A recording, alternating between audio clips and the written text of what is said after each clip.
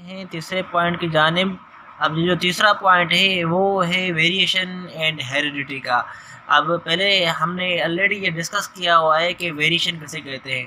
تھوڑا سا دوبارہ ریکال کرتے ہیں۔ ویریشن کہتے ہیں، اگر ایک ہی اسپیشیز یا ایک ہی قسم کے جاندار جو ہیں، ان کے اندر جو مائنر فرق ہوتا ہے ان کے چہرے ڈفرینٹ ہیں، ان کی آنکھیں ڈفرینٹ ہیں، ان کی کان ڈفرینٹ ہیں، ان کی گردن کی سائز ڈفرینٹ ہے ان کے لیگس ڈفرینٹ ہیں۔ یہ جو ایک ہی جاندار کے اندر جو چھوٹا سا فرق آپ کو نظر آتا ہے، اس کو ہم کہتے ہیں ویریشن اور ہیریڈیٹی کیا ہے؟ اب یہ جو ویریشن جو ہے، اگر یہ ان کے ہی آف اسپرنگ میں اگر ٹرانسمٹ ہو، تو وہ ہیریڈیٹی کے کریکٹر میں شامل ہو جاتی ہے۔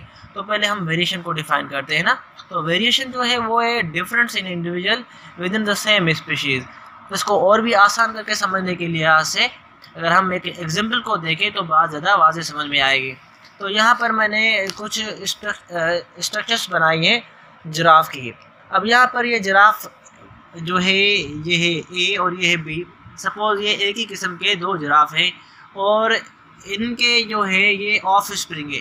جن کے میں نے نام دیے ہوئے ڈی سی بی اور اے اگر یہ دو جو ہے پیرنٹس ہیں اور ان کی اگر یہ آف اسپرنگس ہیں تو اگر یہ رہتے ہیں ایک ہی ایریا میں، تو وہاں پر یہ فوڈ کو کھائیں گے جہاں پر ان کی گردن، کن کی بہت زیادہ لمبی ہے، کن کی چھوٹی ہے، کن کی اور چھوٹی ہے، کن کی اور چھوٹی ہے۔